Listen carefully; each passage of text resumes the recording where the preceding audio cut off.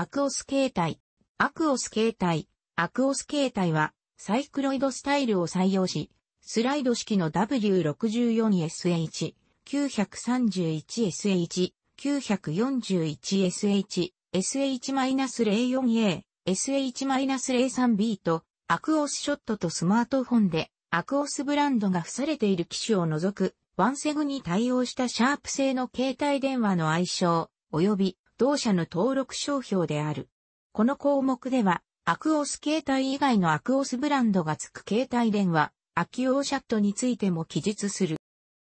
シャープ製液晶テレビの人気ブランド、アクオスの名を冠した2006年5月10日の決算説明会において 905S1 はアクオス携帯だと発言したことがきっかけとなった。その後発売された 905SH が爆発的にヒットしたことにより、905SH と同様にワンセグを搭載し、サイクロイドヒンジ構造を採用したシャープ製の携帯電話をアクオス携帯と呼ぶようになった。なお、当初の愛称は90度90というサイクロイドの動きを表したものであった。その名残として 905SH の初期ロット分の箱に印刷されているものを確認できる。なお、その箱の90度90のロゴも、アクオス携帯ロゴシールで隠されていた。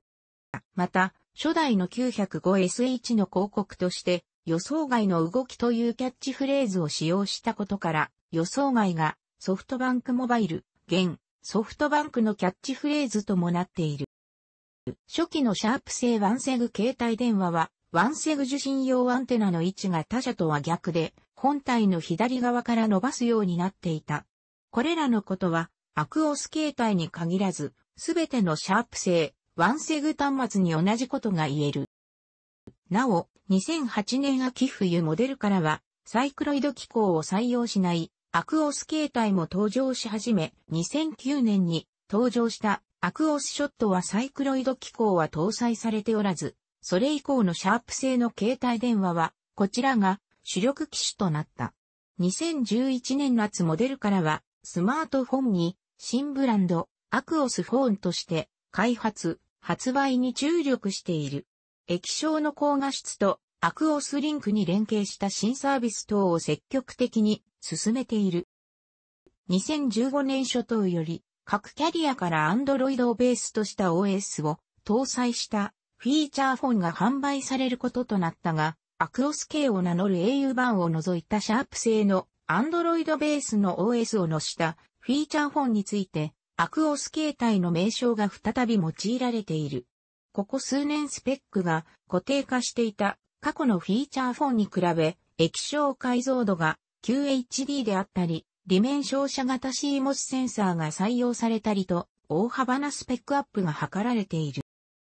また、いち早くアクオス携帯を発売していたソフトバンクにもソフトバンク 943SH 以来約5年10ヶ月ぶりとなるアクオス携帯の新機種を投入することを発表。こちらは従来からのフィーチャーフォンソフトバンク 3G として発売されるが、Android ベース OS 搭載機種同様に液晶解像度が QHD に高解像度化される。また、ソフトバンクブランドに加え、Y、モバイルブランドにも設定される。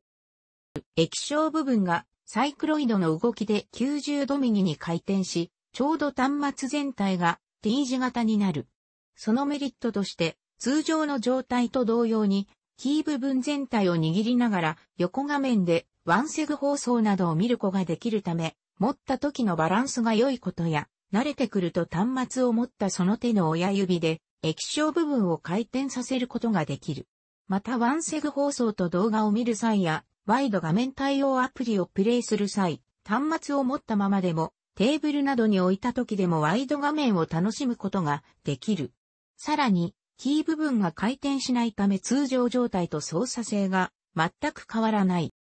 サイクロイド機構により横画面に対応した機能、ソフトバンク 920SH はなど。ちなみに、富士通製の端末にも同様にサイクロイド機構を採用したものがあるが、アクオス形態との大きな違いは、前者は左右両方に回転でき、回転した時に自動起動させる機能をワンセグモンにも設定できるのに、対し、後者は一方向にしか回転できず、回転した時に自動起動するのは、初期設定時はワンセグということである。現在はワンセグ以外の機能に変更することができる機種もは、すべてのアクオス形態において、ワンセグ起動時に黒い背景の中に、青字でアクオス形態のロゴが浮かび上がるように表示される。なお、W61SH は背景に波が流れる様子が表示される。au 向けのアクオス形態には画面を横向きにした状態で液晶画面の左上にアクオス形態のロゴが記されている。さらに W51SH では同じく画面を横向きにした状態で画面下中央部にシャープロゴが記されている。液晶画面はシャープが開発したモバイル ASV 液晶を採用。なお、920SH、923SH、822SH、SH905IF、W61SH はニューモバイル ASV 液晶。これは、シャープの液晶テレビ、アクオスに搭載されている ASV 液晶の技術を携帯電話に採用したもの。アクオス携帯でないシャープのワンセグ対応端末でも、アクオスで培った技術を採用した液晶を多く取り入れている。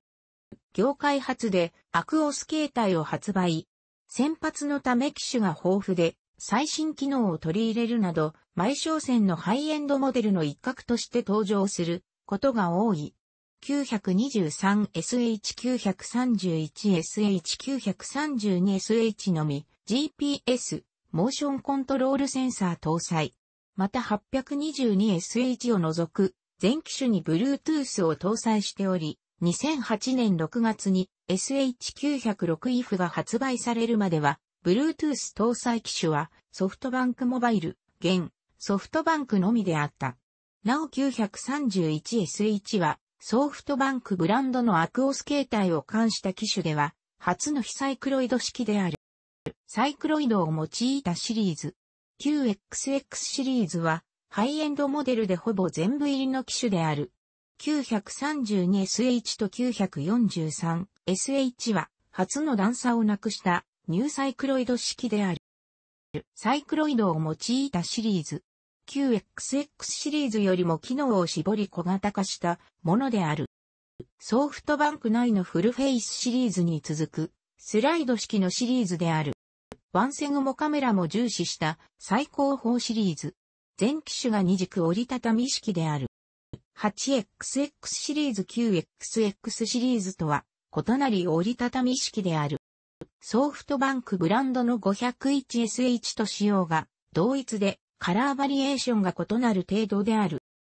最も AV 機能を重視しており、SH905IF から1677万色のディスプレイやドルビーモバイル SH-07A 以外全機種にステレオスピーカーを搭載している。SH-01A はドコモのアクオス形態としては初の GPS 搭載機であり3キャリア中最後となった。SH903IF は2008年1月に W61SH が発売されるまではアクオス形態唯一のフェイバー2.0対応機種であった。SH-04A はドコモのアクオス形態を冠した機種では初の非サイクロイド式である。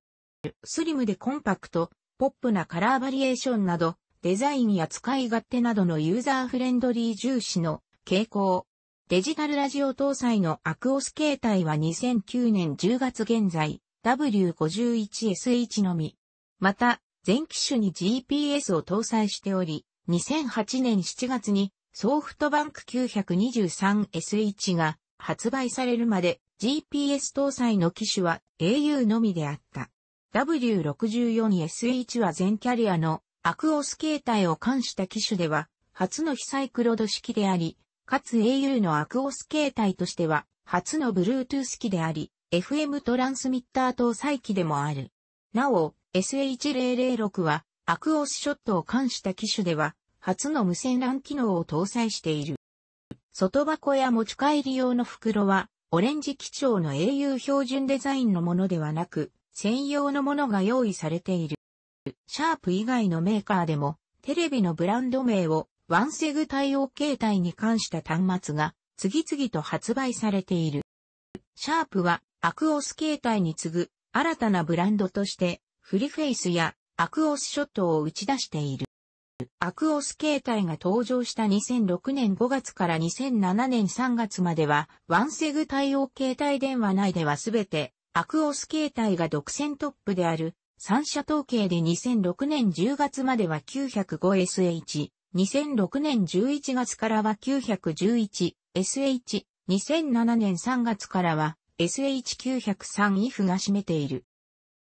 楽しくご覧になりましたら、購読と良いです。クリックしてください。